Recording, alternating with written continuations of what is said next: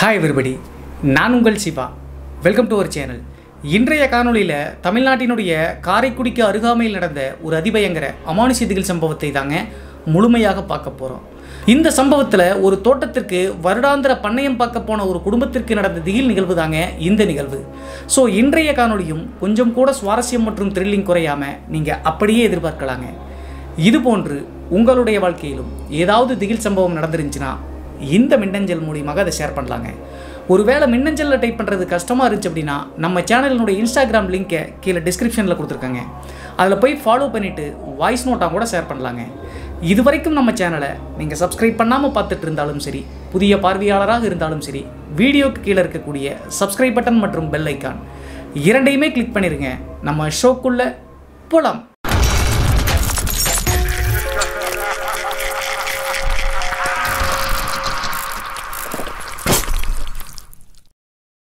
இந்த அமானுஷ்ய சம்பவம் நான் ஏற்கனவே சொன்ன மாதிரி தமிழ்நாட்டினுடைய காரைக்குடியிலிருந்து ஒரு முப்பது கிலோமீட்டர் தொலைவில் உள்ள ஒரு அழகிய கிராமத்தில் இரண்டாயிரம் காலகட்டத்தில் நடந்த திகில் நிகழ்வு தாங்க இந்த நிகழ்வு.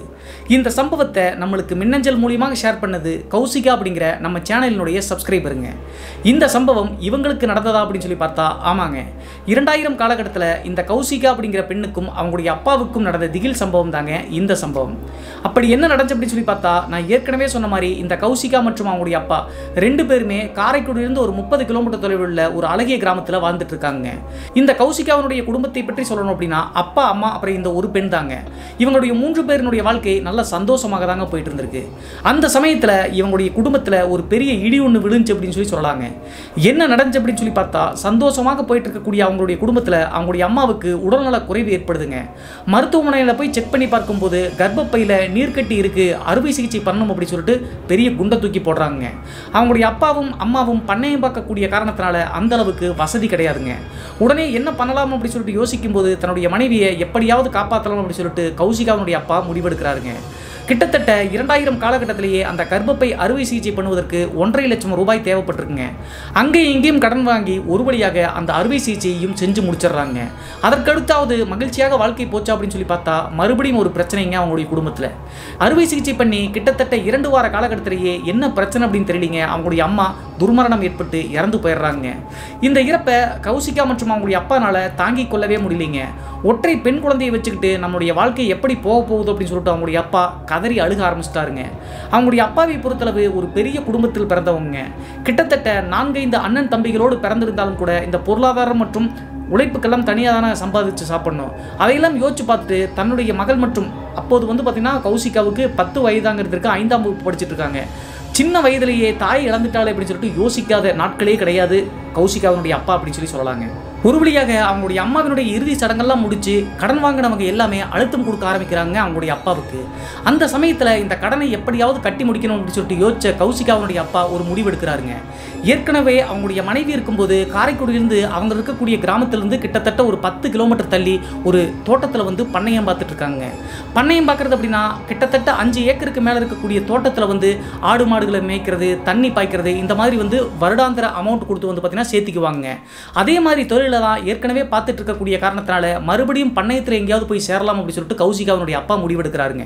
அவர் ஏற்கனவே அவங்களுடைய மனைவி உயிரோடு இருக்கும்போது ஒரு தோட்டத்தில் பண்ணையம் பார்த்தாங்க இல்லையா? அந்த வருடாந்திர காலம் முடிஞ்ச காரணத்தினால வேறொரு இடத்துல வந்து பண்ணையத்திற்காக போகலாம் அப்படின்னு சொல்லிட்டு முடிவெடுக்கிறாருங்க. அப்போது ஏற்கனவே வேலை செஞ்ச அந்த தோட்டத்திலிருந்து மறுபடியும் ஒரு மூன்று கிலோமீட்டர் தள்ளி இருக்கக்கூடிய ஒரு பெரிய தோட்டத்தில் பண்ணையத்திற்கு ஆள் வேணும் அப்படின்னு சொல்லிட்டு தெரிஞ்சுக்கிட்டு அங்கே போய் சேர்றாருங்க. குறிப்பாக அந்த தோட்டத்தில் கௌசிகாவினுடைய அப்பா போய் சேருவதற்கான காரணம் என்ன அப்படின்னு சொல்லி பார்த்தா வருடா வருடம் இவ்வளவு தொகை அப்படின்னு சொல்லிட்டு பேசி மதிப்பாங்க ஆனால் அந்த தோட்டத்தில் மட்டும் கொடுக்கக்கூடிய அமௌண்ட்டுக்கு டபுள் அமௌண்ட் கொடுக்குற அப்படின்னு சொல்லி சொன்ன காரணத்தினால தான் கௌசிகாவினுடைய அப்பா ஓகே சொல்லிடுறாருங்க.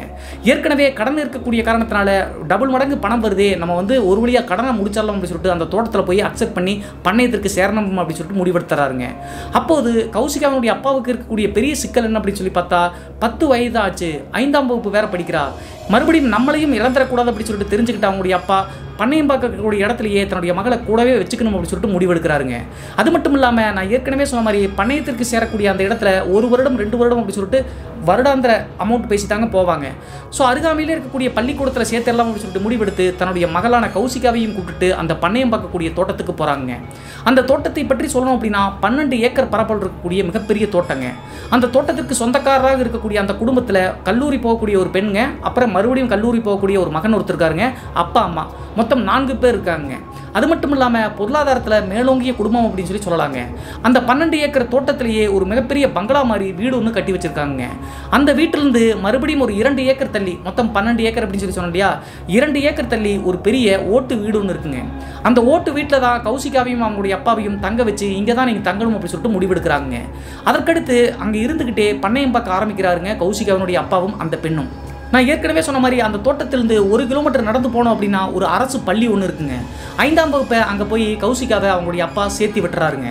அதற்கடுத்து அந்த தோட்டத்தில் இருக்கக்கூடிய முதலாளி வந்து இவங்களுடைய ரெண்டு பேர்த்துக்கும் தேவையான சாப்பாடை வந்து மூணு நேரமும் கொடுத்துட்றாங்க அது மட்டும் இல்லாமல் கௌசிகாவுக்கு வந்து அம்மா இல்லாத காரணத்தினால அந்த தோட்டத்தினுடைய முதலாளி அம்மா நல்லாவே பார்த்துக்கிட்டாங்க கௌசிகாவை அப்படின்னு சொல்லி சொல்லலாங்க. இந்த சமயத்தில் தான் கௌசிகாவினுடைய அப்பாவுக்கு ஒரு பெரிய மறுபடியும் அதிர்ச்சி தகவல் ஒன்று வருதுங்க. என்ன ஆச்சு அப்படின்னு சொல்லி பார்த்தா ஒரு வார காலகட்டத்திலேயே அந்த தோட்டத்தில் இருக்கக்கூடிய கறவை மாடுகள் பால் கறக்கும் இல்லையா? அதெல்லாம் எடுத்துகிட்டு போய் ஒரு இரண்டு மூன்று கிலோமீட்டர் தள்ளி சொசைட்டி இருக்குங்க. அந்த சொசைட்டியில் கொடுத்துட்டு வாங்க அப்படின்னு சொல்லிட்டு முதலாளி அம்மா சொன்ன காரணத்தினால பாலை எடுத்துக்கிட்டு அந்த சொசைட்டிக்கு போகிறாருங்க இவர் புது நபர் அப்படிங்கிற காரணத்தினால அந்த சொசைட்டியில் நீங்கள் யார் எங்கிருந்து வர்றீங்க அப்படின்னு சொல்லிட்டு விசாரிக்கிறாங்க அப்போது அந்த தோட்டத்துக்காரனுடைய பேரை சொல்லி அந்த தோட்டத்துக்கு தான் பண்ணையம் பார்க்க வந்திருக்கு அப்படின்னு சொல்லி சொன்ன உடனே அங்கே இருக்கக்கூடிய எல்லா நபர்களும் ஏதோ கிசு கிசுன்னு பேசிக்கிட்டாங்க இவரை பார்த்துக்கிட்டே. இதையெல்லாம் பார்க்கும்போது இவருக்கு மர்மமாகவே இருந்திருக்குங்க. அந்த சமயத்தில் அந்த தோட்டத்தில் எப்போருந்து வேலை பார்க்குறீங்க யார் யார் இருக்கீங்க அப்படின்னு சொல்லி கேட்கும்போது எனக்கு மனைவி கிடையாது. பத்து வயதில் இருக்கக்கூடிய பெண் குழந்தையை வச்சுக்கிட்டு நான் மட்டும்தான் வந்து பண்ணையத்தில் இருக்கு அப்படின்னு சொல்லி சொன்ன உடனே அந்த சொசைட்டியில் இருக்கக்கூடிய நபர் வந்து ஒரு அதிர்ச்சியான விஷயத்தை கௌசிகாவனுடைய அப்பா கிட்ட சொல்கிறாருங்க அப்படி என்ன சொன்னார் அப்படின்னு சொல்லி பார்த்தா சின்ன குழந்தையை வேற வச்சிருக்கேன்னு சொல்லி சொல்கிறீங்க அந்த தோட்டம் மிகவும் ஆபத்தானது. அங்கே தங்கினவங்க யாருமே கிட்டத்தட்ட ஒரு மாதம் இரண்டு மாத காலகட்டம் கூட பண்ணையத்தில் வேலை பார்த்தவங்க இருந்ததே கிடையாது. நீங்கள் தயவு செய்து பிள்ளைய கூப்பிட்டுட்டு வேற ஏதாவது ஒரு தோட்டத்தை பார்த்துட்டு போயிருங்க அப்படின்னு சொல்லிட்டு அந்த பால் சொசைட்டியில் இருக்கக்கூடிய நபர் சொல்கிறாருங்க இதையெல்லாம் கேட்ட உடனே ஒரு அதிர்ச்சி இருந்தாலும் கூட எதற்காக இப்படி சொல்கிறாங்க அப்படின்னு சொல்லிட்டு குழப்பத்தோடு அதை பெரிதுபடுத்தாம அமௌண்ட்டை தான் டபுள் மடங்கு கொடுக்குறாங்க அப்படின்னு சொல்லிட்டு அதையெல்லாம் காதல் வாங்காம நேராக மறுபடியும் தோட்டத்துக்கு வந்துட்டாருங்க. தோட்டத்திற்கு வந்து கிட்டத்தட்ட நான்கைந்து நாட்கள் எந்தவித பிரச்சனையும் இல்லாமல் தாங்க இருந்திருக்கு. அதற்கடுத்து நான்காவது நாள் அந்த தோட்டத்தில் ஒரு மர்மமான விஷயம் நடக்கிறத நோட் பண்ணுறாருங்க என்ன நடந்துச்சு அப்படின்னு சொல்லி பார்த்தா நைட்டு ஒரு பன்னெண்டு மணி பன்னெண்டரை மணி தோராயமாக இருக்குங்க. இந்த கௌசிகா அப்படிங்கிற பெண் சாப்பிட்டு முடிச்சுட்டு ஆழ்ந்த தூக்கத்தில் இருக்காங்க. தன்னுடைய மனைவி இழந்த துக்கத்தை மனசுலயே நினச்சிட்டு இந்த பிள்ளை எப்படி கரசியத்தை போகிறோமோ அப்படின்னு சொல்லிட்டு யோசிச்சுக்கிட்டே கௌசிகாவினுடைய அப்பா வந்து பார்த்தீங்கன்னா செயின் ஸ்மோக்கர் அப்படி சொல்லி சொல்லலாங்க பீடி ஒன்று போட்டார் அப்படின்னா அடுத்த பீடி எடுத்துருவாருங்க. பீடி எடுத்து குடிச்சுக்கிட்டே வந்து யோசிச்சுக்கிட்டே இருக்காருங்க அந்த ஓட்டு வீட்டிலேயே அந்த சமயத்தில் தான் வீட்டினுடைய பின்புறம் ஏதோ ஒரு விசித்திரமான சத்தம் கேட்கறத நோட் பண்ணுறாருங்க அந்த சத்தத்தை கேட்ட உடனே டக்குன்னு இந்த சத்தம் எங்கிருந்து வருது அப்படின்னு சொல்லிட்டு பார்க்க ஆரம்பிக்கிறாருங்க. அந்த சத்தம் எங்கிருந்து வருது அப்படின்னு சொல்லி பார்த்தா வீட்டினுடைய பின்புறம் இருந்தாங்க கேட்குது ஒரு ஜன்னல் ஒன்று இருக்குங்க. அந்த ஜன்னலை திறந்து பார்த்தோம் அப்படின்னாவே பின்புறத்தை வந்து நல்லாவே பார்க்கலாம். அந்த சமயத்தில் ஜன்னலை திறந்து அந்த சத்தம் எங்கே கேட்குது அப்படின்னு சொல்லி பார்க்கும்போது வீட்டினுடைய பின்புறத்திலிருந்து கிட்டத்தட்ட ஒரு பத்தடி தூரத்திலேயே ஒரு பெரிய பாலடைந்த கிணறு ஒன்று இருக்குங்க. அந்த கிணத்துக்குள்ளே இருந்து தான் அந்த மர்மமான விசித்திரமான சத்தம் கேட்குதுங்க அந்த சத்தம் எப்படி கேட்குது அப்படின்னு சொல்லி பார்த்தா ஏதோ ஒரு நபர் வந்து அழுகிற மாதிரியும் அனத்துற மாதிரியும் சத்தம் கேட்குதுங்க அந்த சத்தத்தை நல்லா சொல்லணும் அப்படின்னு சொல்லி பார்த்தா இந்த மாதிரி ஒரு மர்மமான சத்தம்ங்க அந்த சத்தம். அந்த சத்தத்தை கேட்ட உடனே கௌசிகாவனுடைய அப்பாவுக்கு குழப்பம் ஏற்பட்டுருங்க என்ன மர்மமாக இந்த மாதிரி சத்தம் கேட்குது அப்படின்னு சொல்லிட்டு தெரிஞ்சுக்கிட்டு மெயின்டோர் கதவை திறந்து வீட்டினுடைய பின்புறம் இருக்கக்கூடிய அந்த பாலடி இந்த கிணறு இருக்கு இல்லையா? அந்த கிணத்து பக்கத்தில் ஒரு டார்ச் லைட் எடுத்துகிட்டு போய் அடிச்சு பார்க்கலாம் அப்படின்னு சொல்லிட்டு கிணத்தினுடைய நெருங்கி பக்கத்தில் ஒட்டி போய் டார்ச் லைட் அடித்து அந்த கிணத்துக்குள்ளே வெஸ் வெளிச்சத்தை அடிக்கிறாருங்க. அப்படி பக்கத்தில் நின்று அடித்து பார்த்த அடுத்த மறுபடியும் அந்த மர்மமான சத்தம் மிகவும் பயமுறுத்தும் வகையில் கேட்டிருக்குங்க. இதை கேட்ட உடனே ஏதோ தப்பாக இருக்கு அப்படின்னு சொல்லிட்டு வேக வேகமாக வீட்டுக்குள்ளே ஓடி வந்து அந்த பின்புறம் பார்க்குற மாதிரி ஒரு ஜன்னல் இருக்குன்னு சொல்லியா அந்த ஜன்னல் கதவை சாத்திக்கிட்டு மெயின் டோரையும் சாத்திக்கிட்டு வந்து விடிய விடிய பாதுகாப்பாக தன்னுடைய மகளுக்காக உட்காந்துருக்காருங்க அதற்கடுத்து காலையில் விடிஞ்ச உடனே பள்ளிக்கூடத்துக்கு போகக்கூடிய நேரம் வந்த காரணத்தினால அவங்களுடைய மகளை வந்து பள்ளிக்கூடத்துக்கு கிளப்பி நான் ஏற்கனவே சொன்ன மாதிரி தோட்டத்திலிருந்து ஒரு கிலோமீட்டர் நடந்தே தாங்க போகணும். ஆனால் இந்த பெண் தனியாக போக தேவையில்லைங்க. பக்கத்து தோட்டத்தில் இருக்கக்கூடிய தன்னுடைய மகளினுடைய வயசு இருக்கக்கூடிய ஒரு பெண் வந்து அங்கே தாங்க படிக்கிறாங்க அந்த பள்ளிக்கூடத்தில். ஸோ ரெண்டு பேரும் வந்து சேர்ந்து நடந்து போயிட்டு மாலை வந்து திரும்ப வருவது வழக்கங்க. அதற்கடுத்து அந்த பெண்ணை பள்ளிக்கூடத்துக்கு அனுப்பிட்டு நேராக சாப்பிடுவதற்காக அந்த பங்களா வீட்டுக்கு போகிறாருங்க முதலாளி இருக்கக்கூடிய வீட்டுக்கு. வீட்டுக்கு போய் சாப்பிட்டுட்டு இருக்கும்போது அந்த முதலாளி அம்மா கிட்ட இந்த விஷயத்தை பற்றி நள்ளிரவு நேரம் நடந்த விஷயத்தை பற்றி சொல்ல ஆரம்பிக்கிறாருங்க தயங்கிக்கிட்டே. என்ன சொல்லியிருக்காரு அப்படின்னு சொல்லி பார்த்தா வீட்டினுடைய பின்புறம் அந்த பாம்பேரி பக்கத்துலேருந்து ஏதோ ஒரு அழுகிற மாதிரி சத்தம் கேட்குது என்னையே பயமுறுத்தும் வகையில் அந்த சத்தம் கேட்டுச்சு. பாப்பாக அந்த சத்தத்தை கேட்டா அப்படின்னா பயந்துருவாங்க அப்படின்னு சொல்லி சொன்ன உடனே அந்த முதலாளி அம்மா கொஞ்சம் தயங்கி தயங்கி யோசிச்சுக்கிட்டே வந்து ஒரு விஷயத்தை சொல்ல ஆரம்பிக்கிறாங்க. என்ன சொல்கிறாங்க அப்படின்னு சொல்லி பார்த்தா நீங்கள் நிறைய இடத்துல பண்ணையம் பார்த்துருப்பீங்க. தைரியமான ஆள் தானே. பாலடைஞ்ச கிணறு அப்படின்னா அந்த கிணத்து புறா வந்து பார்த்தீங்கன்னா கூடு கட்டி அங்கே தானே தங்கும். புறா வந்து அனத்தினாலும் இப்படி வந்து யாரோ பெண்மணியோ ஆண்மகனோ அழுகிற மாதிரி தான் சத்தம் கேட்கும். உங்களுக்கு தெரியாதா அப்படின்னு சொல்லிட்டு அதை அப்படியே மறைமுகமாக மறைக்க தாங்க பார்த்துருக்காங்க. அதையெல்லாம் சொன்ன உடனே முதலாளியம்மா சொல்கிறாங்க அப்படின்னு சொல்லிட்டு யோசிச்சாலும் கூட அந்த சத்தம் புறா அனத்துற மாதிரி சத்தம் கிடையாது அப்படின்னு சொல்லிட்டு மனசு கூட நினச்சிட்டு மறுபடியும் எதிர்கேள்வி கேட்கவே இல்லைங்க. இந்த நிகழ்வுக்கு பின்பு இரவு நேரங்களில் அந்த வெளிப்புறம் பார்க்குற மாதிரி இருக்கக்கூடிய ஜன்னல் கதவையும் மெயின் டோர் கதவையும் நைட்டு நேரத்தில் வந்து சாத்திட்டு தாங்க தூங்குவாங்க. அதற்கடுத்து மூன்று நாள் கழித்து மறுபடியும் அந்த தோட்டத்தில் இன்னொரு மர்மமான விஷயம் நடக்க ஆரம்பிச்சுங்க. பன்னெண்டு ஏக்கர் அப்படிங்கிற காரணத்தினால இரவு நேரத்தில் தண்ணி பாய்ச்ச வேண்டிய கட்டாயம் வருங்க. இரவு நேரத்தில் தான் இந்த மும்முனை மின்சாரம் அப்படிங்கிறது வரக்கூடிய காரணத்தினால இரவு நேரம் போய் தண்ணி கட்டிட்டு வரலாம் அப்படின்னு சொல்லிட்டு கௌசிகாவுடைய அப்பா கிளம்புறாருங்க. அப்படி கிளம்பும்போது ஏற்கனவே அந்த அணத்துற மாதிரி சத்தம் கேட்கக்கூடிய காரணத்தினால அந்த ஜன்னலையெல்லாம் இழுத்து சாத்திக்கிட்டு பாப்பா நீ நல்லா தூங்கு. நைட்டு நேரத்தில் அந்த ஜன்னல் கதவை மட்டும் திறக்கக்கூடாது. நான் நான் வந்து கதவை தட்டுற வரைக்கும் திறக்காமையே படுத்து தூங்க அப்படின்னு சொல்லி சொல்லிட்டு அந்த பெண் தூங்கின பின்பு நேராக வந்து தண்ணி பாய்ச்சுவதற்காக அந்த தோட்டத்துக்குள்ளே போகிறாருங்க நான் ஏற்கனவே சொன்ன மாதிரி பன்னெண்டு ஏக்கர் பரப்பளவு இருக்கக்கூடிய அந்த தோட்டத்தில் ஒரு வாழைத்தோப்பு ஒன்று இருக்குங்க. அந்த வாழைத்தோப்புக்கு பக்கத்தில் இருக்கக்கூடிய ஏரியாவில் தான் தண்ணி பாய்ச்ச வேண்டிய கட்டாயங்க. அந்த சமயத்தில் தண்ணி பாய்ச்சிக்கிட்டே சோர்வாக இருந்த காரணத்தினால வரப்பு மேலே உட்காந்துருக்காருங்க ஒவ்வொரு பாத்தியிலையும் தண்ணி வந்து நிரம்புவதற்கு கிட்டத்தட்ட பத்து நிமிடங்கள் ஆகுங்க. அது வரைக்கும் நம்ம வந்து சோர்வு தீர்த்துக்கலாம்னு சொல்லிட்டு உட்காந்துட்டு இருக்கும்போது திடீர்னு யதார்த்தமாக அந்த வாழத்தோப்பு பக்கத்தில் தன்னுடைய பார்வை திரும்புதுங்க. கௌசிகாவுடைய அப்பாவுக்கு. யாரோ அந்த வாழைத்தோப்பு பக்கத்தில் இருக்கிற மாதிரி ஃபீல் பண்ண உடனே இவர் நினச்சது சரிதாங்க. அந்த சமயத்தில் ஒரு பதினெட்டு வயது பத்தொம்போது வயது இருக்கக்கூடிய ஒரு இளம் பெண் அந்த வாழைத்தோப்பு பக்கத்தில் நிற்கிறத பார்த்த உடனே டார்ச் லைட் அடித்து நேராக அந்த பகுதியை நோக்கி அடித்து பார்க்குறாருங்க அப்படி அடித்து பார்த்த உடனே அந்த உருவம் டக்குன்னு வாழைத்தோப்புக்குள்ளே போகிறத பார்த்துட்டு யாரோ இந்நேரத்துக்கு ஒரு பெண் வந்து தோப்புக்குள்ளே சுற்றுறாங்களே அப்படின்னு சொல்லிட்டு வேக வேகமாக ஓடி போய் பார்க்குறாருங்க முதல் முறையாக. இவர் பக்கத்தில் நெருங்கி போக நெருங்கி போக அந்த பெண்மணி மாதிரி இருக்கக்கூடிய உருவம் ஒரு பத்தடி டிஸ்டன்ஸில் தள்ளி தள்ளி போயிட்டே இருக்குங்க. இரண்டு மூன்று முறை அந்த உருவத்தை பார்த்த உடனே ஒருவேளை அந்த முதலாளியினுடைய மகள் கல்லூரி போகிற மாதிரி இருக்காங்கன்னு சொன்னல அவங்க தான் இப்படி வந்து நைட்டு நேரத்தில் தூக்க கடத்தில் நடக்கிறாங்களோ அப்படி சொல்லிட்டு யோசிச்சு பார்த்தான் பாப்பா பாப்பா அப்படி சொல்லிட்டு பின்னாடியே நடந்து போகிறாருங்க அந்த நேரத்தில் நான் ஏற்கனவே சொன்ன மாதிரி கொஞ்சம் தள்ளி தள்ளி போயிட்டு இருந்த அந்த உருவம் திடீர்னு டிசப்பைர் ஆயிடுச்சுங்க காணாமல் போயிடுச்சு தோப்பு முழுவதும் லைட் அடித்து பார்த்துட்டு இவருக்கு ஒரே குழப்பங்க. என்னடா அந்த பெண்ணை நல்லாவே பார்த்தமே அந்த பெண் இப்போ எங்கே போனாங்க பிடிச்சிட்டு சொல்லிட்டு யோசிச்சு பார்த்துட்டு நேராக அந்த முதலாளியினுடைய வீடு இருக்கு இல்லையா? வீட்டுக்கே போயிட்டாங்க ஒருவேளை அந்த பெண் தான் வந்து பார்த்தீங்கன்னா இங்கே தோப்புக்குள்ளே தூக்க கடக்கத்தில் நடக்கிறாங்களோ அப்படின்னு சொல்லிட்டு தெரிஞ்சு கொள்வதற்காக. அந்த தோட்டத்தினுடைய உரிமையாளர் இருக்கக்கூடிய கேட்டு பக்கத்தில் போன உடனே அங்கிருந்து சத்தம் எழுப்புறாருங்க. இவர் எவ்வளவோ சத்தம் எழுப்பி கிட்டத்தட்ட பத்து நிமிடங்கள் ஆகியும் கூட அங்கிருந்து எந்தவித பதிலும் வரலைங்க. அதற்கடுத்து இவர் வேகமாக சத்தம் எழுப்பின காரணத்தினால அந்த பங்களாக்குள்ளேருந்து என்னப்பா ஆச்சு? எதுக்கு இன்னாத்துக்கு தொந்தரவு பண்ணுற அப்படின்னு சொல்லிட்டு அங்கிருந்து குரல் வருதுங்க. அதை கேட்ட உடனே கௌசிகாவினுடைய அப்பா ஒன்றும் இல்லைங்க. பாப்பா வந்து தூக்க கழகத்தில் ஏதோ தோப்புக்குள்ளே நடந்து போகிற மாதிரி பார்த்தேன். அதனால தான் வந்தேன். பாப்பா இருக்காளான்னு பாருங்க அப்படின்னு சொல்லி சொன்ன உடனே பாப்பாலாம் இங்கே தான் இருக்கா? நல்லா தூங்கிட்டு இருக்கா? எதுக்கு இந்நேரத்துக்கு தொந்தரவு பண்ணுறீங்க நீங்கள் தண்ணியெல்லாம் பாய்ச்ச வேண்டாம். மோட்டரை போய் ஆஃப் பண்ணிவிட்டு நேராக போய் வீட்டில் தூங்குங்க. காலையில் என்னவாக இருந்தாலும் பேசிக்கலாம். இப்போ வந்து நீங்கள் போய் தண்ணி பாய்ச்ச வேண்டாம் அப்படின்னு சொல்லிட்டு திரும்ப திரும்ப வீட்டுக்குள்ள இருந்துகிட்டே சொல்கிறாங்க அந்த நேரத்தில் கௌசிகாவினுடைய அப்பாவுக்கு இன்னொரு கேள்வி எழும்புதுங்க. என்னடா அந்த பங்களாவினுடைய மெயின் டோரை திறந்து கூட வெளியே வந்து பதில் சொல்லாமல் வீட்டுக்குள்ள இருந்தே பேசுகிறாங்க அப்படின்னு சொல்லிட்டு யோசிச்சு பார்த்துட்டு எல்லாமே குழப்பமாக இருக்குங்க. இருந்தாலும் முதலாளி சொல்லிட்டாரு அப்படின்னு சொல்லிட்டு அதை பெரிதுபடுத்தாமல் நேராக கிணத்து மேட்டுக்கு போய் அதாவது இந்த பாலடைந்த கிணறு இருக்கு இல்லையா அந்த கிணறு கிடையாதுங்க. வேறு ஒரு கிணத்துல வந்து பார்த்தீங்கன்னா தண்ணி இருக்கும். அங்கிருந்த மோட்டர் தண்ணி போயிட்டு இருக்கு அங்கே போய் மோட்டர் ஆஃப் பண்ணிட்டு நேராக இவங்களுடைய மகள் தூங்கக்கூடிய அந்த ஓட்டு வீட்டுக்கு முன்னாடி வந்து கதவை தட்டு தட்டுன்னு தட்டுறாங்க. ஆனால் ஆழ்ந்த தூக்கத்தில் இருந்த காரணத்தினால கிருத்திகா கதவை திறக்கவே இல்லைங்க. கொஞ்ச நேரம் யோசிச்சு பார்த்துட்டு சரி தூக்க கழகத்தில் இருப்பாளாட்டுக்கு அப்படின்னு சொல்லிட்டு வெளியவே வந்து பார்த்தீங்கன்னா ஒரு மாட்டு தொழுவு மாதிரி ஸ்- இருக்குங்க. அதுலேயே படுத்துக்கலாம் அப்படின்னு சொல்லிட்டு கொஞ்ச நேரம் படுத்து இருந்துட்டு நடந்த விஷயங்கள்லாம் யோசிச்சு பார்த்துக்கிட்டே இருக்காருங்க. வாழைத்தோப்பில் அந்த பெண்ணினுடைய உருவத்தை பார்த்தோம். வீட்டுக்குள்ள முதலாளியினுடைய மகள் தூங்குறா அப்படின்னா அங்கே பார்த்தது யார் அப்படின்னு சொல்லிட்டு ஆயிரம் கேள்விகளோடு மறுபடியும் பீடியை குடிச்சிட்டு எல்லா பக்கமும் சிந்திச்சுக்கிட்டே பார்த்துட்டு இருக்காருங்க. அந்த சமயத்தில் மறுபடியும் அதே பெண்ணினுடைய உருவத்தை கரெக்டாக அந்த பங்களா வீட்டுக்கு கொஞ்சம் பக்கத்தில் இருந்துட்டே வந்து பார்த்தீங்கன்னா நோட் பண்ணுற மாதிரி பார்க்குறாருங்க. அந்த உருவம் அங்கே தான் நிற்குது வேக வேகமாக மறுபடியும் அந்த உருவம் இருக்கக்கூடிய பகுதியை நெருங்கி போயிட்டே இருக்கும்போது அந்த உருவம் எங்கே போகுது அப்படின்னு சொல்லி பார்த்தா அந்த பங்களா வீட்டினுடைய கேட் இருக்கு இல்லையா? அந்த கேட்டு பக்கத்தில் நெருங்கி போயிட்டு முன்னாடி போகுதுங்க பின்னாடி வருது. முன்னாடி போகுது பின்னாடி வருது. இதையெல்லாம் பார்த்த உடனே எல்லாமே விசித்திரமாக இருக்குது அப்படின்னு சொல்லிட்டு தெரிஞ்சுக்கிட்டு ஒரு மறைஞ்சிருக்கிற மாதிரி ஒரு பகுதி இருக்குங்க தென்னந்தோப்பு இருக்கக்கூடிய பகுதி. அந்த மரத்துக்கு பின்னாடி நின்றுக்கிட்டே அந்த உருவம் என்னதான் பண்ணுது அப்படின்னு சொல்லிட்டு நோட் பண்ணிட்டே இருக்காருங்க கௌசிகாவினுடைய அப்பா. அந்த சமயத்தில் நான் ஏற்கனவே சொன்ன மாதிரி அந்த உருவம் அந்த பங்களாவினுடைய கேட்டுக்கு முன்னாடி முன்னாடி போயிட்டு இரண்டு அடி மூணு அடி பின்னாடி பின்னாடி வந்துட்டு ஒரு வழியாக அதனால் முடியலைங்க. அதற்கடுத்து மறுபடியும் அந்த திசையிலிருந்து வேறொரு திசையை நோக்கி அந்த உருவம் நடக்க ஆரம்பிச்சிருச்சுங்க. அப்போது இது மறுபடியும் எங்கே போகுது அப்படின்னு சொல்லிட்டு யோசிச்சு பார்க்கும்போது அவங்களுடைய மகள் தொங்க போகக்கூடிய அந்த ஓட்டு வீடு இருக்கு இல்லையா? அந்த ஓட்டு வீடுக்கு போகக்கூடிய வழிப்பாதையில் வந்து அந்த உருவம் நடந்து போகுதுங்க.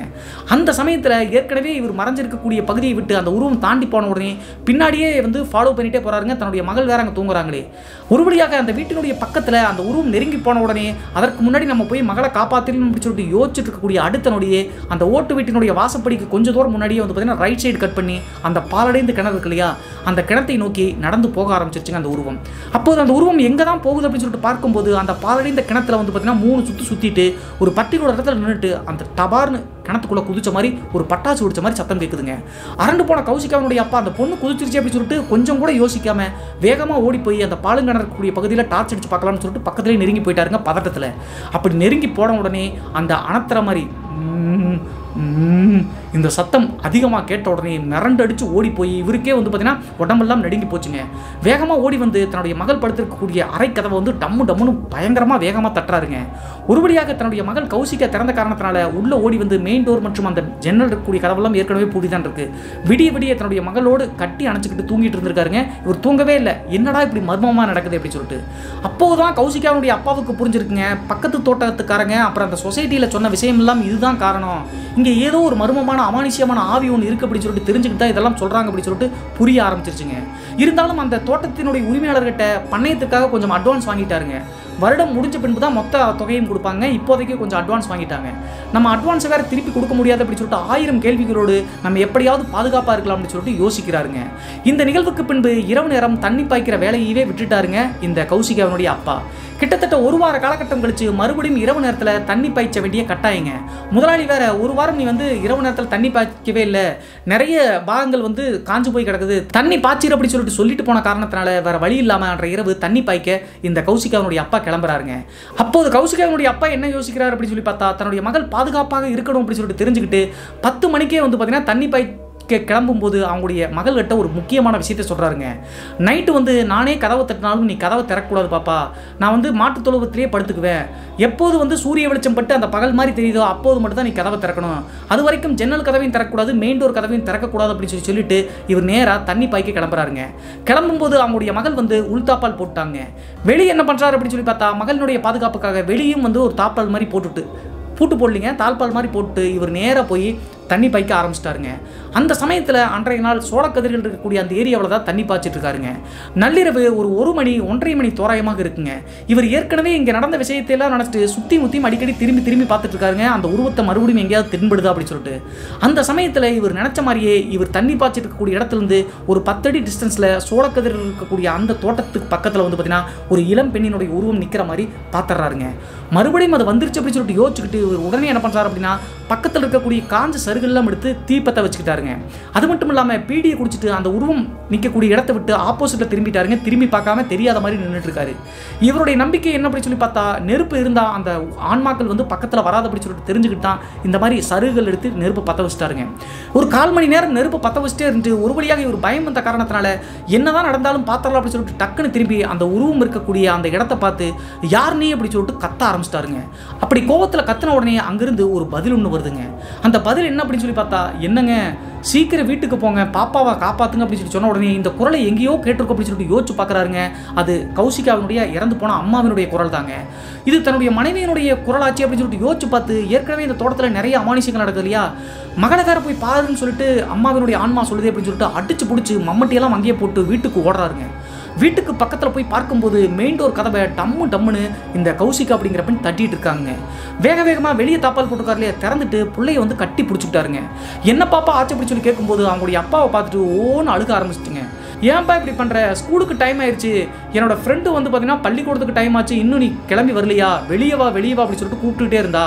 நான் ஏற்கனவே சொன்னேன்ல பக்கத்து தோட்டத்தில் வந்து பார்த்தீங்கன்னா இந்த பெண்ணினுடைய வயதில் இருக்கக்கூடிய ஒரு குழந்தை வந்து பள்ளிக்கூடத்துக்கு போகுது. ரெண்டு பேரும் சேர்ந்து தான் போவாங்கன்னு. அந்த குழந்தையினுடைய வாய்ஸ்லேயே வந்து பார்த்தீங்கன்னா அந்த ஆன்மா நின்றுட்டு கூப்பிட்டுருக்க மாட்டிருக்குங்க. அப்போது அதை கேட்ட உடனே கௌசிகாவினுடைய அப்பாவுக்கு புரிஞ்சிருச்சுங்க. நைட்டு ரெண்டு மணி தோராயமாக பக்கத்து தோட்டத்தில் இருக்கக்கூடிய அந்த குழந்தை எப்படி இங்கே வரும் அப்படி சொல்லிட்டு யோசிச்சு பார்த்து தன்னுடைய மகள்கிட்ட சொன்னால் பயந்துருவாங்க இல்லையா? கட்டி அணைச்சிக்கிட்டு என்னமா நடச்ச அப்படி சொல்லி கேட்கும்போது என்னுடைய தோழி வந்து பார்த்தீங்கன்னா முன்னாடியே நின்றுட்டு பள்ளிக்கூடத்துக்கு டைம் ஆயிடுச்சு இன்னும் மாடி தூங்குற கதவை திறந்து வெளியே வாடி வெளியே வாடின்னு சொல்லிட்டு கத்துனாங்க. நான் உள்ள தாழ்பால் போட்டுக்கூடிய கதவை திறந்து ட்ரை பண்ணேன். நீங்கள் வெளியே தாப்பால் போட்டிருப்பீங்களாட்டுருக்கு அதனால் திறக்க முடியல. அதனால தான்ப்பா கத்துன அப்படி சொல்லி சொன்ன உடனே பிள்ளைய கட்டி பிடிச்சிட்டு இல்லைம்மா ஸ்கூல் ஸ்கூலுக்கு போக வேண்டிய டைம் இன்னும் அதிகமாக இருக்குது நீ தூங்கு உன்னுடைய தோழி வந்து வந்துட்டு திரும்பி போயிட்டாலாட்டு அப்படின்னு சொல்லி சொல்லிட்டாருங்க இப்படியெல்லாம் நடந்துச்சு சொன்னால் குழந்தைக்கு பயந்துரும் இல்லையா? அன்று இரவே தன்னுடைய மகளுக்கு நடந்த நிகழ்வை பார்த்து மிரண்டு போயிட்டாருங்க. தன்னுடைய மனைவியினுடைய ஆன்மா வந்து சொல்லு அப்படின்னா தன்னுடைய மகளுக்கு ஏதாவது நடந்திருக்கும் அப்படின்னு சொல்லிட்டு அப்போது தாங்க புரிய ஆரம்பிச்சிருக்கு. தாய் பாசம் எப்போதுமே வந்து இறந்தாலும் ஆன்மா வந்து காப்பாற்றுமா அப்படின்னு சொல்லி சொல்லுவாங்க இல்லையா? கௌசிகாவை வந்து பார்த்தீங்கன்னா அந்த ஆன்மா வந்து தொந்தரவு பண்ண காரணத்தினால இதெல்லாம் தெரிஞ்சுக்கிட்டு தான் தண்ணி பாய்ச்சிட்டு இருக்கும்போது வேகமாக வீட்டுக்கு போங்க அப்படி சொல்லி சொல்லியிருக்கு. அது மட்டும் இல்லாமல் இந்த தோட்டத்திற்கு வந்ததுலேருந்தே இரவு நேரங்களில் இறந்து போன மனைவி கௌசிகாவுடைய அம்மா வந்து கனவுல வந்து நீங்களும் பாப்பாவும் கிளம்பி போயிருங்க இந்த இடம் வேண்டாம் வேண்டாம் அப்படின்னு சொல்லிட்டு அடிக்கடி கனவுல வந்து சொல்லிட்டு இருக்காங்க. ஏற்கனவே இந்த அமானுஷங்கள்லாம் பார்த்துட்டார் இல்லையா? உச்சக்கட்ட பயத்துக்கே போயிட்டாருங்க. இதற்கு மேலே இங்கே இருந்தோம் அப்படின்னா நம்மளுக்கு கண்டிப்பாக தன்னுடைய மகளுக்கோ தனக்கோ ஆபத்து வரும் அப்படி சொல்லிட்டு. அப்போதும் இவருக்கு இருக்கக்கூடிய பெரிய பிரச்சனை என்ன அப்படி சொல்லி பார்த்தா கொஞ்சம் முன்தொகை வாங்கிட்டார் இல்லையா? அந்த தொகையை கட்டினா தான் இங்கிருந்து கிளம்பி போக முடியும். காலையில் விடிஞ்ச உடனே தன்னுடைய மகளை பள்ளிக்கூடத்துக்கு அனுப்பிட்டு நேராக அந்த முதலாளி அம்மா இருக்காங்க இல்லையா அவங்ககிட்ட போய் ஒரு பத்து கிலோமீட்டர் தான் எங்களுடைய அம்மா இருக்காங்க. நான் போய் கூட்டிகிட்டு வரேன். புள்ள வேற நைட்டு தண்ணி பாய்க்கும் போது பயப்படுறா. எங்கள் அம்மாவை கூட்டு வந்து ஒரு பத்து நாள் விட்டுட்டு போனோம் அப்படின்னா அப்புறம் சமாதானம் ஆயிருவா அப்படின்னு சொல்லிட்டு சொன்ன காரணத்தினால. போயிட்டு சாயந்தரத்துக்குள்ள வந்துருங்க பத்து கிலோமீட்டர் தான் அப்படி சொல்லிட்டு முதலாளி அம்மா சொன்ன காரணத்தினால. பிள்ளைக்கு தான் வந்து பார்த்தீங்கன்னா பள்ளிக்கூடத்துக்கு அனுப்பிட்டாரு. நேராக வந்து பஸ் ஏறி அந்த பத்து கிலோமீட்டர் தொலைவில் இருக்கக்கூடிய கௌசிகாவுடைய பாட்டியை பார்க்க போகிறாங்க அதே நேரத்தில் காலையில் தன்னுடைய மகளை எடுத்துகிட்டு போய் அந்த பக்கத்து தோட்டத்தில் தோழி இருக்காங்கன்னு சொன்னலையா அவங்ககிட்ட விடும்போது சாயந்தரம் வரும்போது நேராக வந்து தோழி வீட்லேயே இருமா நான் பாட்டியை போய் கூப்பிட்டு வந்துடுறேன். அது வரைக்கும் தோழியினுடைய வீட்லேயே விளையாடு அப்படின்னு சொல்லி சொல்லிட்டு தான் அவங்களுடைய அப்பா கிளம்பி அவங்களுடைய பாட்டியை பார்க்க போகிறாருங்க பத்து கிலோமீட்டர் தொலைவில் இருக்கக்கூடிய அவங்களுடைய பாட்டியினுடைய ஊருக்கு போய் ஒரு வழியாக அவங்களுடைய அம்மாவை சமாதானப்படுத்தி தோட்டத்துக்கு கூட்டு வர்றாங்க. தோட்டத்துக்கு கூட்டு வரும்போது இந்த மாதிரி மர்மமான அமானுஷங்கள் நடக்குது அப்படின்னு சொல்லிட்டு சொல்லலைங்க. கூட்டிகிட்டு வந்து ஒரு பத்து நாள் மட்டும் இருக்குமா அவள் ஏங்கி போயிடுவா அப்படின்னு சொல்லி சொன்ன காரணத்தினால அவங்களுடைய பாட்டியும் நான் ஒரு வாரம் இருக்கிறேன் அப்படின்னு சொல்லி சொல்லிட்டு சமாதானமாக இந்த தோட்டத்திலேயே இருக்காங்க. தோட்டத்துக்கு வந்த கௌசிகாவுடைய பாட்டியை அந்த முதலாளி அம்மா நல்லாவே ஈஸியாக பழகிடுறாங்க ஒரு இரண்டு மூன்று நாட்கள்லேயே. குழம்பெல்லாம் ஏதாவது செஞ்சாங்க அப்படின்னா கொண்டு வந்து இவங்களுடைய பாட்டி கொடுக்கறது இந்த மாதிரி செஞ்சுக்கிட்டே இருந்திருக்காங்க. ஒரு வார காலகட்டம் கழிச்சு இந்த கௌசிகாவுடைய அப்பாவுக்கு மறுபடியும் இரவு நேரத்தில் தண்ணி பாய்க்க வேண்டிய கட்டாயங்க. அந்த சமயத்தில் தண்ணி பாய்க்க கிளம்பும் போது அவங்களுடைய பாட்டி இருக்காங்க இல்லையா அவங்க கிட்ட அம்மா நைட்டு வந்து நானே வந்து குரல் எழுப்பி கதவை தட்டினாலும் நீங்கள் திறக்காதீங்க. காலையில் விடிஞ்ச பின்னாடி திறங்க. நான் அது வரைக்கும் வந்து வேலை முடிச்சு அப்படின்னா மாட்டுத் தொழுவத்தில் படுத்துக்குவேன். நீங்கள் எக்காரணத்தை கொண்டும் அந்த ஜன்னல் கதவையும் மெயின் டோர் கதவையும் நானே கூப்பிட்டாலும் திறக்கக்கூடாது அப்படின்னு சொல்லி சொல்லிட்டு கிளம்பி போக ஆரம்பிச்சிட்டாருங்க. இதை சொன்ன உடனே கௌசிகாவனுடைய பாட்டிக்கு வந்து ஏதோ தப்பாக இருக்குது அப்படின்னு சொல்லிட்டு புரிஞ்சுக்கிட்டாங்க. இருந்தாலும் அவன் போயிட்டு வரட்டும் நான் காலையில் கேட்டுக்கலாம் அப்படின்னு சொல்லிட்டு அன்றைய இரவு வந்து சாப்பிட்டு முடிச்சுட்டு தூங்க ஆரம்பிக்கிறாங்க கௌசிகா மட்டும் அவங்களுடைய பாட்டி. அன்றைய இரவு நள்ளிரவு ஒரு பன்னெண்டரை மணி தாங்க இருக்கும். அவங்களுடைய வீட்டினுடைய கதவை யாரோ டம்மு டம்முன்னு வேக வேகமாக தட்டுறாங்க. அந்த சத்தத்தை கேட்ட உடனே அவங்களுடைய பாட்டி எந்திரிச்சிட்டாங்க. எந்திரிச்சிட்டு யார் இது? இன்னாரத்துக்கு? அப்படின்னு சொல்லிட்டு கேட்ட உடனே ஒன்றும் இல்லைம்மா நான் தான் வந்திருக்கேன் அப்படின்னு சொல்லிட்டு அந்த தோட்டத்தினுடைய முதலாளி அம்மா இருக்காங்க இல்லையா அவங்களுடைய குரலில் அந்த ஆன்மா கூப்பிட மாட்டிருக்குங்க என்னம்மா ஆச்சு அப்படி கேட்கும்போது நான் கத்திரிக்காய் குழம்பு கொண்டு வந்தம்மா சூடாக இருக்குது பாப்பா கொடுங்க பிடிக்கும். அப்படின்னு சொல்லி சொன்ன உடனே கிருத்திகாவினுடைய பாட்டிக்கு ஆயிரம் கேள்விகள் எழ ஆரம்பிச்சிருச்சுங்க. நைட்டு பன்னெண்டரை மணி ஆயிடுச்சு இன்னத்துக்கு குழம்பு கொண்டு கொடு கொடுக்குற அப்படின்னு சொல்லிட்டு கதவை தட்டுறாங்க அப்படின்னு சொல்லிட்டு யோசிச்சு பார்த்துட்டு இல்லைம்மா நாங்கள் சாப்பிட்டோம் நீங்கள் எடுத்துகிட்டு போங்க அப்படின்னு சொல்லி சொன்ன காரணத்தினால இல்லைம்மா நீங்கள் கதவை திறங்க பாப்பா கொடுத்தீங்க அப்படின்னா கண்டிப்பாக பிடிக்கும் தூக்கத்திலிருந்து எழுப்பிடலாம் அப்படின்னு சொல்லிட்டு திரும்ப திரும்ப அவங்களுடைய முதலாளி அம்மாவனுடைய குரலையே கேட்குதுங்க வேற வழி இல்லாமல் இவ்வளவு நேரம் பேசுகிறாங்க கதவை திறக்காம நம்ம வந்து பேசிட்டு இருந்தோம்னா மரியாதை இருக்காது அப்படின்னு சொல்லிட்டு ஒரு வழியாக கதவை திறக்கிறாங்க. கதவை திறந்து சுற்றி முத்தியும் வாசலில் தேடுறாங்க. அந்த முதலாளியம்மா கூப்பிட்ட மாதிரி யாருமே அங்கே இல்லை. அந்த சமயத்தில் மர்மமாக சுற்றி முத்தியும் படுத்துட்டு இருக்கும்போது வீட்டினுடைய சைடு பக்கத்தில் யாரும் நடந்து போகிற மாதிரி சத்தம் கேட்குதுங்க அந்த சைடு கௌசிகாவுடைய பாட்டி எட்டி பார்க்கும்போது ஒரு மர்மமான பெண்மணியினுடைய உருவம் வேகமாக ஓடி போய் அந்த பாலும் கிணறு இருக்கு இல்லையா அந்த கிணத்துக்குள்ளே டம்முன்னு குதிச்ச மாதிரி சத்தம் கேட்குதுங்க எப்படி வந்து கௌசிகாவுடைய அப்பா ஃபர்ஸ்ட் டைம் வந்து அந்த உருவம் கீழே குதிக்கும் போது சாக்கானாரோ அதே மாதிரி இந்த பாட்டியும் வந்து சாக்காய் ஓடி போய் பக்கத்தில் போன உடனே அந்த அனத்தர சத்தம் மறுபடியும் கேட்குதுங்க அப்படின்னு கேட்ட உடனே அந்த பாட்டிக்கு வந்து புரிஞ்சிருச்சுங்க. இவங்க ஏற்கனவே அனுபவசாலி அப்படிங்கிற காரணத்தினால இது கண்டிப்பாக ஏதோ ஆன்மாக்களினுடைய வேலை தான் அப்படி சொல்லிட்டு வேக வேகமாக ஓடி வந்து மெயின் டோரை இழுத்து சாத்திக்கிட்டாங்க விடிய விடிய தன்னுடைய பேத்தியை பாதுகாப்பாக வச்சுக்கிட்டு காலையில் ஆறு மணிக்கு தான் விடிஞ்ச பின்பு கௌசிகாவினுடைய அப்பா வந்த உடனே கதவை திறந்துட்டு கௌசிகாவினுடைய அப்பா கண்டபடி திட்டுறாங்க அந்த பாட்டியம்மா. ஏமா இப்படி திட்டுற? என்ன ஆச்சு அப்படின்னு சொல்லி கேட்கும்போது அந்த பாட்டிமா நைட்டு நேரத்தில் நடந்த விஷயத்தை கேட்ட உடனே மறுபடியும் கௌசிகாவுடைய அப்பாவுக்கு ஷாக் ஆயிடுச்சுங்க நம்ம பார்த்த மாதிரியே அதே பெண்மணியோட உருவம் அந்த பாலுங்கிணத்தில் குதிச்ச மாதிரி குதிச்சு அந்த மர்மமான சத்தம் இவங்களுக்கும் கேட்டிருக்கு அப்படின்னு சொல்லி தெரிஞ்ச உடனே நூறு பர்சன்டேஜ் வந்து உறுதியாயிருச்சுங்க. கண்டிப்பாக அந்த ஆன்மாவினுடைய வேலை காரணத்தினால தான் சுற்றி இருக்கிறவங்களாம் இந்த தோட்டத்தில் இருக்க வேண்டாம் அப்படின்னு சொல்லிட்டு சொன்னதற்கான காரணம் முழுமையாகவே புரிஞ்சிருச்சுங்க. அப்போது கௌசிகாவினுடைய பாட்டி அவங்களுடைய அப்பா கிட்ட ஒரு முக்கியமான விஷயத்த சொல்கிறாங்க நீ அந்த முன்தொகை கொடுத்ததை வந்து பார்த்தீங்கன்னா எக்காரணத்தை கொண்டு நம்ம அடைச்சிடலாம் ஒரு இரண்டு மூன்று நாட்களில் வந்து அண்ணன் பெரிய அண்ணன் சொல்லிட்டு ஒருத்தர் இருக்காருங்க. அவர்கிட்ட போனோம் அப்படின்னா பணத்தை வந்து ரெடி பண்ணி நம்ம கொடுத்துட்டு இந்த தோட்டத்தை காலி பண்ணிட்டு போயிடலாம். இங்கே இருந்து அப்படின்னா கண்டிப்பாக உனக்கும் உன்னுடைய மகளினுடைய உயிருக்கும் ஆபத்து இருக்கு அப்படி சொல்லிட்டு அந்த பாட்டி சொன்ன காரணத்தினால ஃபஸ்ட்டு வந்து பார்த்தீங்கன்னா பணத்தை ரெடி பண்ணிட்டு வாங்கம்மா.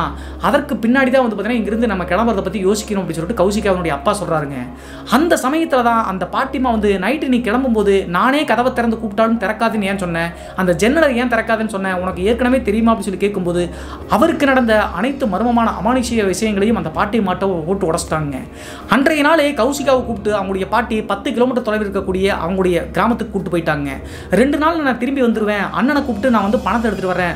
முதலாளி அம்மா கிட்ட கொடுத்துட்டு நம்ம வந்து பணத்திலிருந்து நம்ம விடுபட்டு போயிடலாம் அப்படின்னு சொல்லிட்டு முடிவெடுத்து சொல்லிட்டு போகிறாங்க அப்படி கிளம்பி போகும்போது கௌசிகா அவங்களுடைய அப்பா கிட்ட என்ன சொல்கிறாங்க அப்படின்னா திடீர்னு பாட்டி கூட்டிகிட்டு போகிறாங்க ஸ்கூலுக்கு லீவு போட்டால் டீச்சர் திட்டுவாங்க. பக்கத்து தோட்டத்தில் இருக்கக்கூடிய என்னுடைய தோழிகிட்ட போய் இரண்டு நாள் லீவ் சொல்லிருங்கப்பா அப்படி சொல்லி சொல்லியிருக்காங்க நான் சொல்லிடுறேம்மா நீ போ அப்படின்னு சொல்லி சொல்லிட்டு பாட்டியும் கௌசிகாவும் கிளம்பின பின்பு அன்றைய மாலை வந்து பால் சொசைட்டியில் எடுத்து போய் பால்லாம் கொடுத்துட்டு அந்த பக்கத்து தோட்டத்துக்கு போகிறாங்க பக்கத்து தோட்டத்தில் ஏற்கனவே இவரை வந்து நல்ல பழக்கம் இருக்குங்க. அடிக்கடி எடுத்து போய் பிள்ளைய வந்து ஸ்கூலுக்கு போகும்போது அந்த தோழிகிட்ட விட்டு போகக்கூடிய காரணத்தினால. காஃபியெல்லாம் போட்டு முடிச்சுட்டு தயங்கி தயங்கி அந்த பக்கத்து தோட்டத்துக்காரர்கிட்ட கேட்க ஆரம்பிக்கிறாங்க.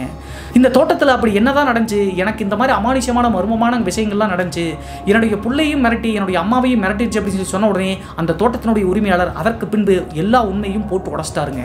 என்ன நடந்திருக்கு அப்படின்னு சொல்லி பார்த்தா அந்த தோட்டத்துக்கு உரிமையாளராக இருக்கக்கூடிய அந்த நபர் இருக்கார் இல்லையா? அவங்களுக்கு தங்கச்சி ஒருத்தங்க இருக்காங்க. கிட்டத்தட்ட பல வருடங்களுக்கு முன்னாடி நடந்த சம்பவம் அவங்க இது.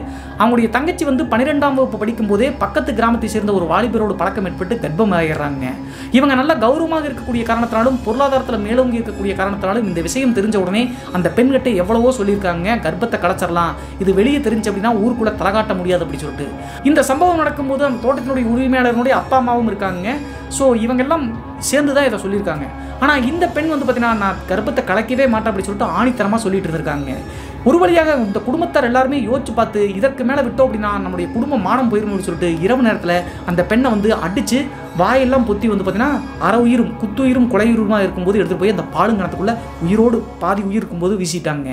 எதற்காக அந்த பாலுங்கணத்துக்குள்ளே வீசினாங்க அப்படின்னு சொல்லி பார்த்தா அந்த பாலுங்கிணறும் அந்த ஓட்டு வீடும் இருக்கக்கூடிய அந்த இடம் வந்து பன்னிரெண்டு ஏக்கர் தோட்டத்தில் வந்து சென்ட்ரான பிளேஸுங்க அந்த இடத்திற்கு இவங்களுடைய அனுமதி இல்லாமல் யாருமே வரமாட்டாங்க. அதனால தான் அந்த பாலுங்கிணத்தில் வீசிட்டோம் அப்படின்னா கொஞ்ச நாட்கள் அந்த பாடியில் இருக்கக்கூடிய நீரெல்லாம் போகிற வரைக்கும் துர்நாற்றம் அடிக்கும்.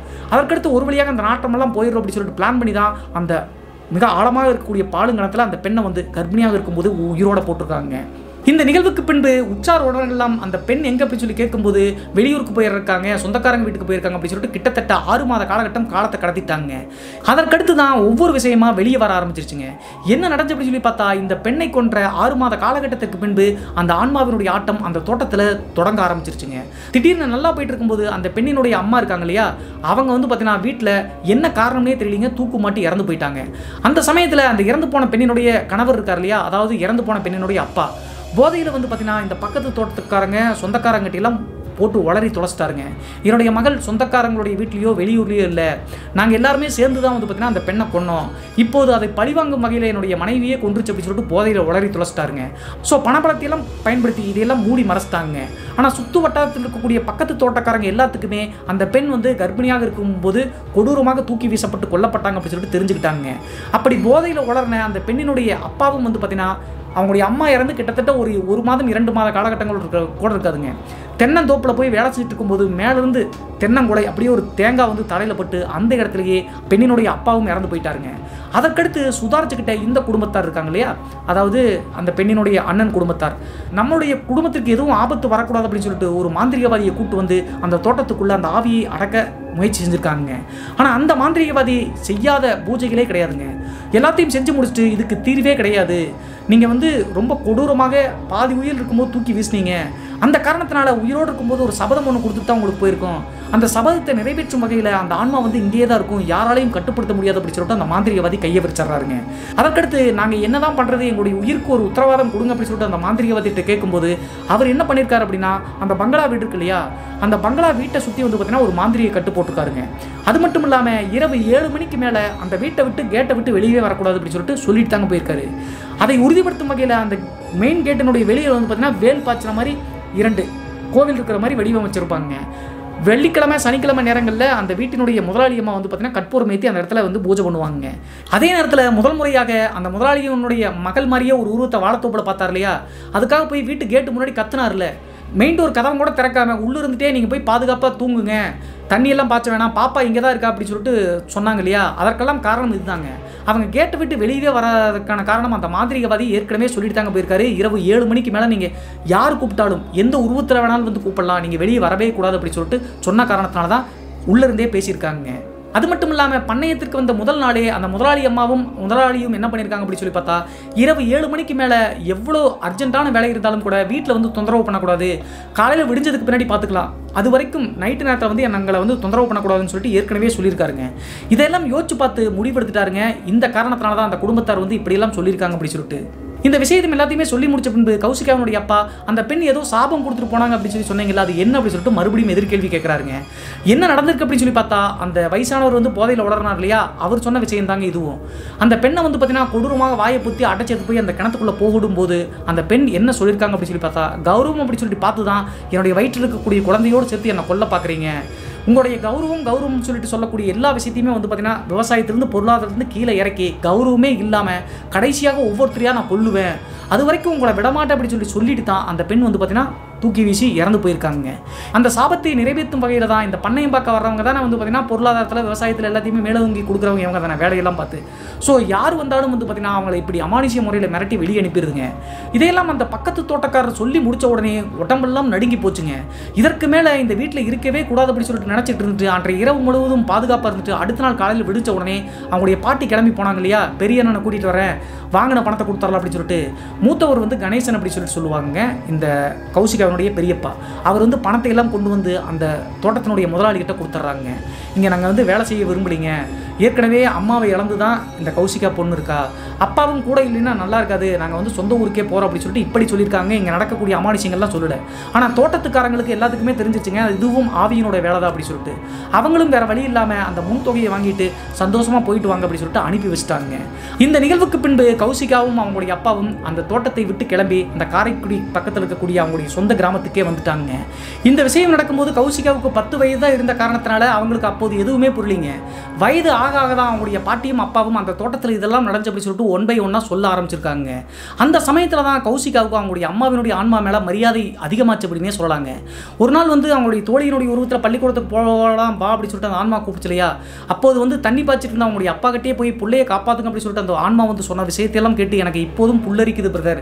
என்னுடைய அம்மா இறந்தாலும் கூட இப்போது வரைக்கும் என்னோடயே இருக்கிற மாதிரி எனக்கு உணர்வு ஏற்படுது அப்படி சொல்லிட்டு இந்த மின்னஞ்சலை சொல்லி முடிச்சாங்க இந்த கௌசிகா அப்படிங்கிற பெண்.